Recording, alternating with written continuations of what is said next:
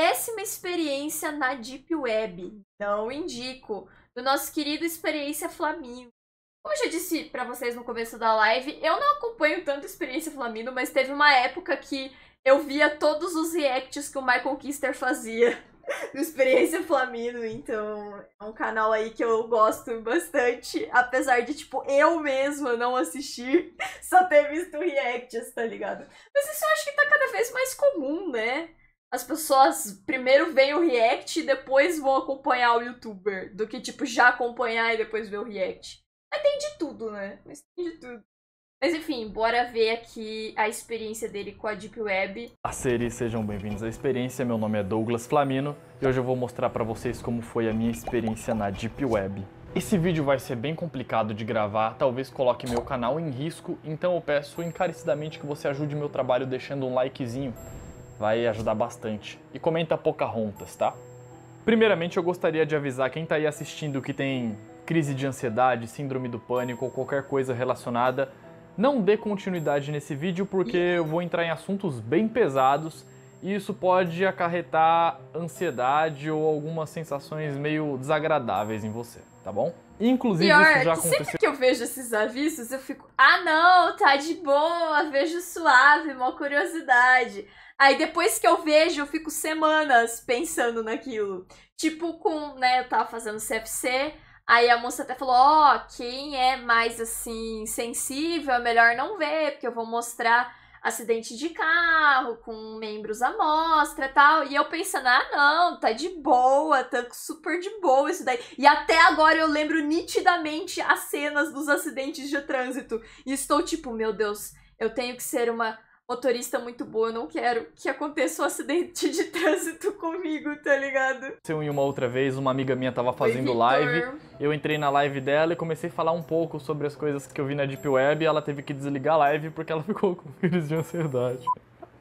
Caralho, que vacilo. Tá, eu vou tentar contar Essa pra vocês o máximo live, possível aqui, de forma que não me gere problemas. Mas, antes de dar continuidade aqui, eu vou dar uma resumida e explicar pra vocês o que é a Deep Web, ou Dark Web, como gostam de falar por aí. Explicar ah, então como é funciona coisa? e tal, porque muita gente acaba disseminando informação errada. Eu mesmo não fazia ideia do que que era antes de ter o contato. Então eu vou explicar um pouquinho aqui. Bem pouquinho porque eu não sou também um especialista da Deep Web. Tá, por onde eu começo?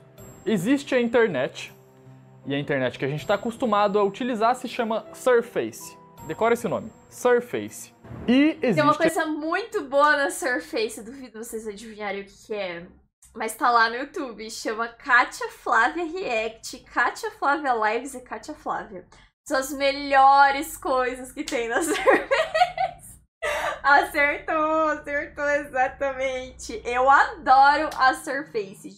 O melhor canal do YouTube. A Deep Web, que é uma rede muito mais restrita, que não é todo mundo que está acostumado a acessar, não é todo mundo que sabe acessar, mas ainda assim lá é onde tem a maior quantidade de conteúdo postado na internet no geral. Existe até uma ilustração que explica o que a gente consome na Surface e a quantidade de conteúdo que tem na Deep Web, que é muito mais, né? A gente está só na, na ponta do iceberg. Mas para para pensar num negócio. Se tem muito mais conteúdo na Deep Web do que na Surface, que é onde a gente está acostumado a acessar, como que você não conhece tantas pessoas que utilizam ou que produzem conteúdo para Deep é, Web? É, porque lá tá cheio de coisa ruim e ninguém quer admitir, né? Tá fazendo coisa errada na internet, né? É, pois é, pois é. Já parou para pensar nisso? Peraí, se tem muito mais acesso na Deep Web do que na Surface, se eu fizer um canal na Deep Web vai ter mais acesso do que o meu canal na Surface? Bom, vamos lá. De forma muito resumida, a Deep Web é uma rede que fica dentro da internet que não tem regulamentação. Ou seja, você pode encontrar qualquer tipo de conteúdo lá. Mas não significa que por isso só vai ter conteúdo ruim, conteúdo gore lá. Não, lá tem bastante conteúdo interessante, muito ainda, inclusive mais conteúdo do que na Surface, porque, né, o iceberg explica. Inclusive, a maior parte do que você encontra de conteúdo Será que a galera da Deep Web se amarra no React? Cadê o Dark YouTube? Vou lançar uns React lá. Dentro é conteúdo bom, não é conteúdo negativo, gore tem que procurar, tem que dedicar para encontrar, entendeu? Da mesma forma que você precisa se dedicar um pouco para procurar coisa errada na Surface, você tem que se dedicar para procurar coisa errada na Deep Web, não é tão diferente. Talvez a proporção de coisa ruim para coisa boa Cara, lá seja eu um já ouvi pouco falar maior. de tanta coisa ruim da Deep Web, porque assim, eu era uma escrita fiel do Você Sabia lá pra 2015, 2014, tá ligado? Então eu ouvi cada, tipo, absurdo que existia na Deep Web que eu fico, porra, é, não quero entrar não. não quero entrar não. Eu sinto que a hora que eu clicar assim na, na, naquele site que usam pra acessar lá no Onion, já era, entendeu? Já hackearam meu PC, já tá vendo um assassino de aluguel me matar, entendeu? É, é, o negócio é complicado, o negócio é complicado. Eu tenho, eu tenho medo. Não é assim, você, nossa, estou na Deep Web, pam, vídeo de morte, meu Deus! Pra ser bem sincero, vai ser até um pouco mais difícil de você encontrar o conteúdo que você tá buscando Porque na é Deep tudo Web, mais difícil porque os achar, navegadores né? de lá não são como os que a gente tá acostumado, o Chrome, o Firefox, é, o Safari. Então é um pouco mais difícil de entender, não é tão intuitivo assim. Então fica um pouco mais difícil de encontrar até coisa ruim. E o navegador mais famoso que se utiliza para entrar na Deep Web se chama. Tor Browser. Hoje em dia, o Tor é só um navegador que foi utilizado para você conseguir acessar essa rede. Mas quando ele foi criado, foi com outro propósito. O Tor foi um projeto de rede militar para conseguir trocar informações de forma anônima. militares. O nome nem era Tor na época, era. Onion Routing. Porque com ele era possível utilizar a rede, passar e receber informações sem ter o IP rastreado. O IP, para quem não sabe, é o, é o número de localização da onde você está acessando. Esse nome esquisito não foi dado por acaso, foi dado porque realmente a rede funciona como uma cebola. Por camadas, que são camadas encriptadas para que o IP não chegue no destino final. E é por isso que o logotipo do Tor Browser é uma cebola. E os links que a gente acessa lá são .onion. Provavelmente quem já ouviu falar sobre a Deep Web já ouviu falar também que ela é dividida em camadas e quanto mais profunda a camada, piores as coisas que você vai conseguir encontrar. Sim. Mas é balela, não tem nada a ver. Talvez as pessoas O se Você Sabia me enganou! Eu estou chocada, processem o Você Sabia. confundiram com esse negócio de camadas da, da cebola aí, por causa das camadas encriptadas, e acabaram criando essa informação, mas a Deep Web são redes. E meio que as pessoas nomearam cada rede de uma camada, sabe? Mas não tem nada a ver. É que cada rede vai ficando um pouco mais restrita e com um pouco menos de conteúdo. Tem a, o Tor Browser, que acessa a rede Onion, tem a Freenet, tem a I2P, que são as três camadas mais famosas. Ah, que merda, eu falando camada. São as três redes mais famosas. Mas a galera vai nomeando isso de primeira, segunda e terceira camada. Tá, agora vocês têm noção mais ou menos do que, que é a Deep Web. Tomara que eu não tenha falado grossa aqui, porque eu também não sou um especialista. Eu só tive mais contato e algumas pessoas me passaram essas informações. E beleza, como eu conheci a Deep Web? Sabe aqueles seus amigos que faz TI? Todo mundo tem um amigo que faz TI. Eu sei lá por que motivos esses caras aprendem a entrar na Deep Web. Não deve ser na faculdade, mas deve ser com E pessoas aí? da faculdade. Então, o meu E aí, Theo Cross, e aí? Vamos, vamos entrar na Deep Web? Falou que a Deep Web é um dos melhores mercados que tem também. Não tem só coisa bizarra. É, só que daí a gente acaba sempre sabendo das coisas bizarras. Eu já ouvi até falar. Na Deep Web tinha um site onde você conseguia comprar coisas feitas de pele humana. Lá no site eles falavam, não, porque são pessoas que deixam usar a pele deles. Nada, nada de errado por aqui. Só que esse site sumiu depois. Então, assim, doideira, tá? Doideira. Eu lembro que Você Sabia uma vez comprou uma caixa da Deep Web e era tudo besteiragem, sabe? Só tinha coisinha tonta lá dentro. Coisas feitas pra parecerem esquisitas, mas não eram esquisitas de verdade. Ou, mas voltando pro vídeo, voltando pro vídeo. Meu caso foi por causa de um amigo desses. Oi, e aí, Doug, beleza? Ô, beleza, cara, e você? Ô, tô beleza também. Cara, cola aí em casa. Nossa, que capinha linda! Parece um pneu de carro. Que Eu é descobri um bagulho muito louco. Sério? Que bagulho muito louco, mano? Ô, fala baixo, cara. As pessoas não podem saber o que é, não. Chama Deep Web. Oh my god. e aí, beleza, fui na casa desse amigo meu, ele me mostrou um monte de coisa lá, horrível, horrível, mas isso me gerou uma curiosidade do tipo, cara, se nesse lugar tem aquele tipo de vídeo, A máquina atrás parece que tá fazendo cara feia. O computador? Eu não parei. tá usando um Transformers no celular F, parecendo um pneuzão de carro. O que mais tá tem lá? Será que é um lugar que só tem esse tipo de vídeo ou será que tem outras coisas? E curiosidade, né? Matou o gato, devia ter me matado também. Eu não queria ter criado esse vídeo aqui, eu preferia não ter esse conteúdo na minha mente pra não existir esse vídeo. De Ah. início eu tentei entrar na Deep Web pela Surface mesmo. Eu não sabia que era necessário ter o Tor É Browser. verdade, parece mesmo, ó, a carinha brava assim. Ou tipo, ah, sabe? Cê é louco, os Transformers já tomaram conta da casa Pra do acessar a Flamengo. rede .onion. Então eu dei meu jeito lá pra encontrar os negócios bizarros na Surface. Ah, e o pior é que eu encontrei muita coisa bizarra na Surface, tá? Você não precisa ir pra Deep Web pra encontrar coisa bizarra. Você buscar no Google, você encontra. Eu lembro que eu usava até um site chamado DuckDuckGo, que ele é, é tipo um buscador, tipo Google, só que ele não tem rastreio e ele não fica salvo no histórico nem nada, ele é totalmente anônimo. Pra quem tá pensando aí, ah, é só abrir a aba anônima do Google. A aba anônima não é tão anônima assim, tá? Mas o DuckDuckGo não é só pra isso, né? Inclusive lá não tem é, publicidade, anúncio, não tem cookies. Indico. Muito bom. Aí depois ele me ensinou como Ah, se acessa utilizando o Tor Browser, blá blá blá. E eu fui vasculhar um pouco mais dessa área obscura da internet. Procurando sozinho é muito difícil de encontrar sites. Até tem lá o tal do Hidden Wiki, que é meio que um indicador de sites.onion, mas ainda assim é, é meio complicado, não, não dá tudo o que você quer. E eu acabei encontrando mais conteúdo dentro do Reddit. É, eu encontrei um fórum lá que tinha uma lista assim de sites sobre o que, que era os sites. Ai meu Deus, eu tô dando dica aqui demais, né? Inclusive tem muita coisa no Reddit. É, tem pessoas que dizem que ele é até um.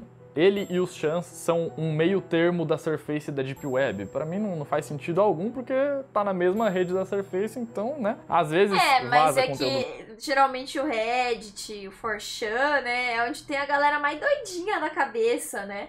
Onde as galera que já usa a Dark Web vai se comunicar, entendeu? Com os pobres mortais ali, conversar, vai, entendeu? da Deep Web pra esses locais? Talvez, talvez, mas eu prefiro não, rotular assim. E depois que eu tive acesso a esses links, começou o trauma. E logo que eu Ih. entrei lá, eu já tive acesso a coisas que eu nem imaginava que o ser humano fazia, coisa que eu nem imaginava que existia. E só de ver o, que, que dá pra comprar, o que dá pra fazer lá, o que tem de serviços lá, nossa, é muita coisa. Só de olhar o, o Black Market, eu já fiquei meio chocado com o que dá pra comprar. O Black Market é o mercado negro, então você pode Sim. comprar tudo lá, tudo, sabe? Tudo. Tem um site de compras de órgãos clandestino lá que você pode especificar o tipo de órgão que você quer e quanto mais você vai dando especificações, mais caro fica. Vai aparecendo o valor lá, mas o valor não é em real nem dólar.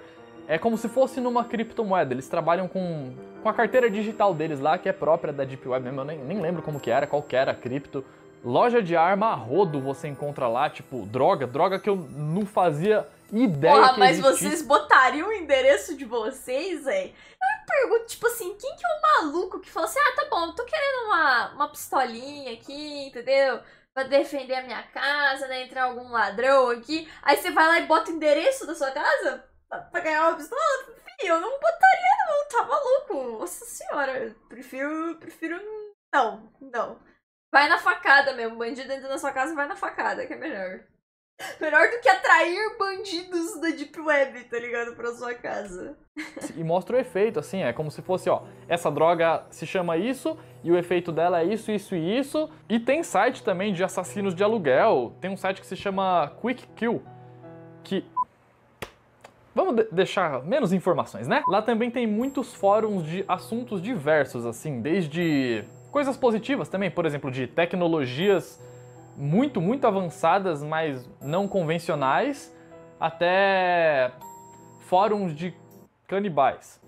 Que, que rola uns negócios horrível, velho, horrível, mano. Ah, e o pior é que eu fui tão a fundo nesse negócio das comunidades dos canibais, porque eu fiquei curioso, falei, como assim existe uma comunidade de canibais? O que, que eles falam aqui, né? Mas meio que nessas comunidades existem encontros de canibais, onde pagam ou não pagam, ou é só uma, uma permuta.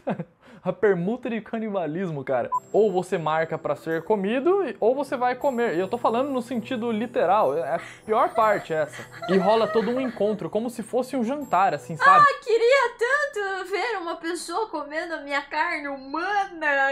Hum, que legal! É um Tinder obscuro, só que em vez de sexo, é, é um jantar diferenciado. Luz de velas, é, talheres bonitos, assim, sabe? Douradinhos, prato bonito. Enquanto e aí o cara deita lá em cima da mesa. Ai, meu Deus. eu- eu- Tá, entendeu, né? Tem muito negócio de ritual lá. É horrível, dá medo pra caramba ver esses negócios de ritual. Boa parte deles eu não sei quão real é. Na verdade, boa parte dos vídeos que eu assisti lá é tão bizarro, é tão bizarro, que você se questiona assim, será que é real? Será que não é montagem, sabe? Pode ser, porque tem muita gente boa em fazer montagem. É, é tão além do normal que você começa a se questionar isso pra não querer acreditar que você tá vendo aquilo. Nossa, uma vez eu vi um ritual lá que era Cara, tipo eu numa. já ouvi. eu- É que eu não lembro detalhes da história, mas que, tipo, teve um cara que ele se dispôs a ter o pênis cortado pro outro cara comer. E aí depois esse cara morreu, só que ele não queria morrer. Eu, eu, eu lembro de ter visto um caso assim. E aí o cara que fez o canibalismo foi preso. E nem por ser canibal, mas por pelo outro cara ter morrido, tá ligado? É, eu não sei, eu não sei os detalhes, eu não sei se eu tô contando certo, mas eu já ouvi falar uma história dessa e eu fiquei, nossa, tem maluco pra tudo mesmo, hein? Tem louco pra tudo. igreja, não era exatamente uma igreja, mas um estabelecimento que parecia ser religioso é, sim, e tal. magia. E tinha um altar no meio e um cara com um bebê de colo. Ai, não vai dar pra eu falar sobre. Deixa eu falar, tirar, tirar a parte pesada do vídeo e falar o que aconteceu no final. A cabeça do nenê tava nesse altar e eles estavam fazendo tipo um- uma reza, assim, um- meio que um canto gregoriano. E a cabeça do bebê, que já não estava mais colada ao corpo, começou a fazer uns grunhidos, meio que como se estivesse respondendo ao que eles estivessem falando. Tô suando. E também tem os sites lá de de coisinha de adulto, sabe? 18 mais, é conteúdo que não pode ser visto para menores, que vocês sabem mais ou menos do que eu tô falando, né? Eu não quero falar tanta coisa para evitar ao máximo do meu vídeo desmonetizar. E nesses sites lá tem coisa pesada, coisa feia assim, sabe? Que você não imaginou que alguém gostasse daquele tipo de coisa e você não imaginou que existisse possibilidade de fazer aquelas coisas sem morrer. Eu, eu não vou detalhar, nem dar dicas, nem falar nada sobre porque seria problemático. Mas lá tem um termo famoso chamado Red Rooms que acontece uns negócios, velho do céu. E o pior dos vídeos que eu já vi na vida foi em um desses sites. Não foi nem em Ponto Onion, foi lá na Freenet e foi muito horrível. Foi esse vídeo que me tirou da Deep Web que eu falei, cara, por que eu tô vendo isso? Eu gostaria de desver, sabe? Só que não dá. É uma coisa que vai ficar na minha mente pra sempre. Eu juro que foi só curiosidade, gente. É, eu ia Pior clicando nas coisas que Eu apareciam. entendo, entenda, gente. É que nem o exemplo que eu dei lá do CFC. Tipo, você fica curioso. Você fica, caraca, eu quero ver. O que será? Não vai dar nada, né? Eu quero ver. Aí depois passa uma semana, do nada você lembra e você fica, ah, cara, eu não devia ter visto, que merda, nossa, isso é traumatizante. Mas você fica curioso na hora, você fica, caraca, nossa, será que é isso? Véi, mano, que inferno. clicando nas coisas que apareciam, né? Que eu não conhecia o nome falava, mano, que termo é esse? Eu- Eu não sei o que, que é. Infelizmente eu já rodei assim sites de conteúdos de adulto assim de A a Z de categoria. E aí eu vejo uma categoria de repente num site que eu falo, mano, nunca ouvi falar desse termo. Eu não sei nem como seria a tradução em português dos termos que eu vi. Ah, vamos falar sobre outro assunto, porque esse assunto é, é estranho de falar, sabendo que um monte de gente tá assistindo. Mas tiveram coisas legais também que eu assisti lá. Por exemplo, conteúdo de ufologia. Eu adoro ufologia, sabe? Coisa de OVNI, de ET. E tem muita coisa lá vazada, assim, não sei se é real também, também pode ser É, foda montagem. isso? Mas tem muita coisa lá, por exemplo, que vazou do Pentágono. E aí você vê lá as fotos assim, muito realistas, você fica tipo, meu Deus, vídeo, sabe? Vídeo de OVNI, vídeo de cara mexendo em objeto que caiu do céu. Acaba às vezes vazando esse tipo de conteúdo pra surface. Só que a mídia não dá força pra esse tipo de coisas que vaza, né? Preferem vazar o que aconteceu com pessoas do BBB, porque dá muito mais grana do que vazar com esse tipo de conteúdo. É que essas coisas de sigiloso, né? OVNI já vazaram tantas vezes e tantas vezes já foi provado que era de mentira que tá muito feio, sabe? Tipo, a última vez lá, ah, não, porque foi, acho que no México, no Chile, sei lá. Que, ai, achamos o corpo de um OVNI. Esse aqui é de verdade, hein? Ó, numa região aí, muito louca, pá. Aí chegaram lá, ah, era tudo osso, tá ligado? De humano, de galinha, de avestruz. Era tudo de mentira, tá ligado? É, é sempre assim, sempre assim. Inclusive tem um canal, o canal da Carol Capel, que fala muito sobre esse tipo de coisa e teoria da conspiração, um monte de coisa assim. É muito bom o canal, muito bom mesmo. Inclusive, se um dia esse vídeo chegar em você, Carol Capel, parabéns pelo conteúdo, oh. muito bom. Ela tem o canal no YouTube onde ela fala de coisas vazadas, de é, imagens de aparições assim, teoria da conspiração a rodo, coisa de documento que vazou do Pentágono. Mas ela também tem um canal 2 que não é no YouTube, que ela consegue falar de forma mais é, mais livre sobre os assuntos que são mais pesados e que eu são... conheço a Carol, adoro ela, mas ela é totalmente fake news, ela é muito sensacionalista. É, é porque meio que esses assuntos você tem que ser um pouco sensacionalista também, né? Se você falar assim, ah, apareceu um alien ali, mas não é muita certeza, as pessoas já vão sair. Mas se você ficar ali, não, porque tem indícios de que ele seja real e pipipi, popopó, aí tem mais chance do vídeo engajar, né? Ir pra frente. Acho que não tem muito como você produzir um conteúdo desse não ser um pouquinho, sabe? Contar um pouquinho de história. Tirados daqui do YouTube por ser assunto sigiloso. Bom, na Deep Web você também vai encontrar muita coisa que vazou de famosos. Às vezes eu fico me perguntando assim, será que os famosos têm noção que eles não têm privacidade nenhuma e que a vida íntima deles está lá na Deep Web?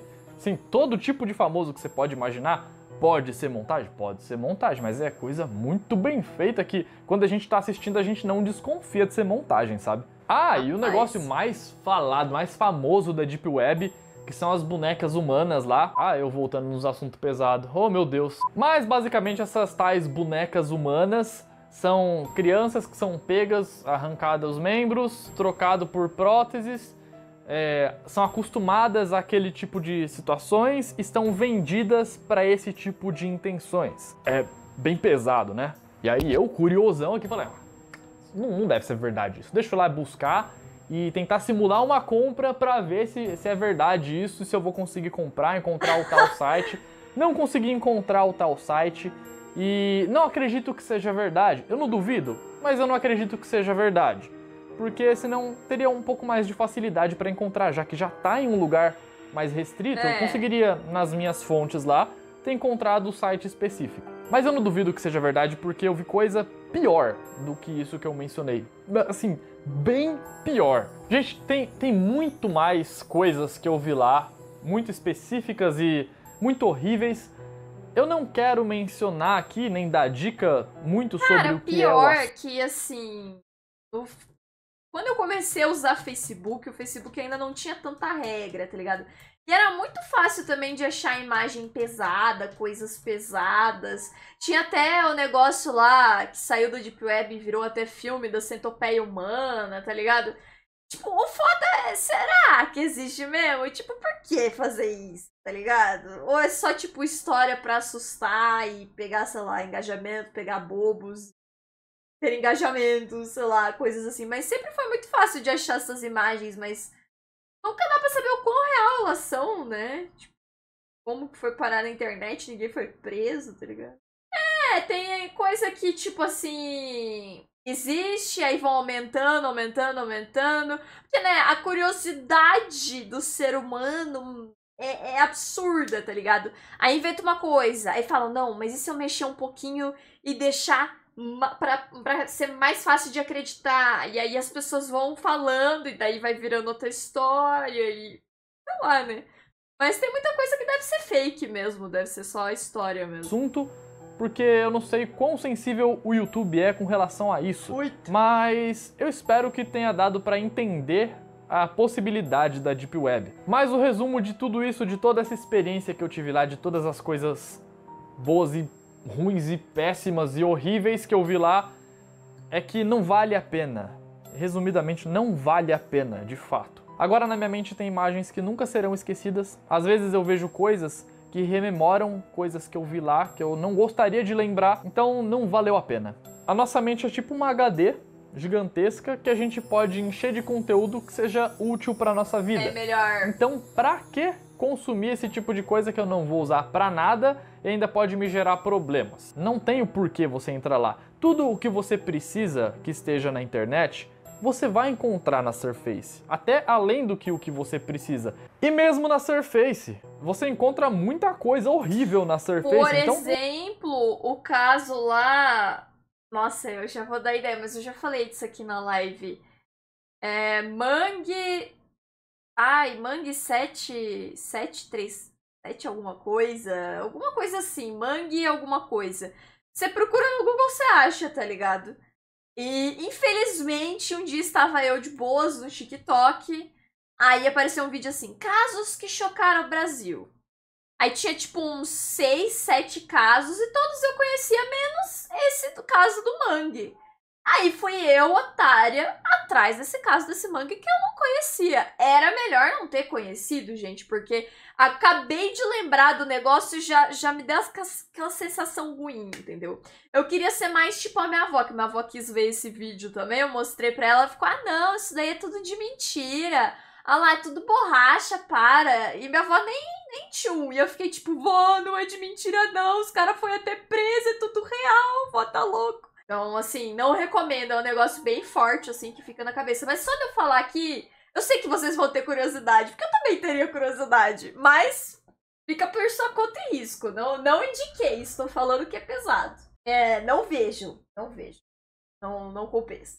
Depois passa um tempo, você lembra e você fica, por que, que eu vi mas, né, vamos terminar o vídeo de experiência Não vai atrás desses conteúdos, sabe? Não, não é, tem um porquê. Melhor não ir atrás. Não, é aquele negócio de ego, ah, eu consigo ver esse tipo de coisa e não vou ficar mal. Dane-se que você não vai ficar mal, vai ficar na sua mente e não vai ter utilidade nenhuma, sabe? Sendo que você podia, sei lá, ler um livro ou ter uma experiência legal, conhecer alguém.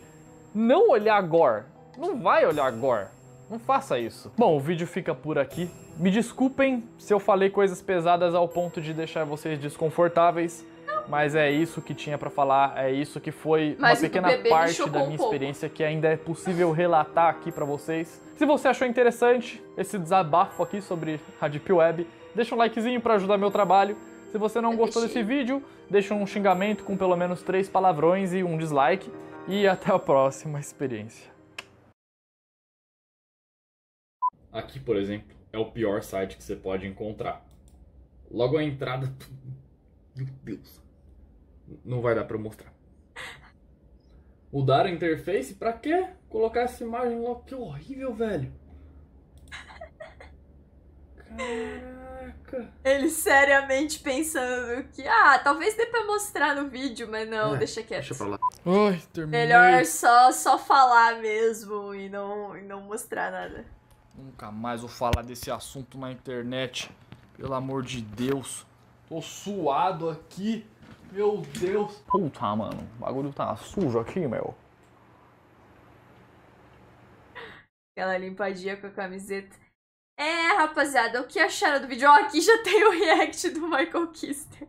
Fazer a thumb igual a do Michael Kister. Será que eu dou conta? Agora eu estou pensando seriamente que eu vou ter que editar muito esse vídeo aqui pro YouTube não...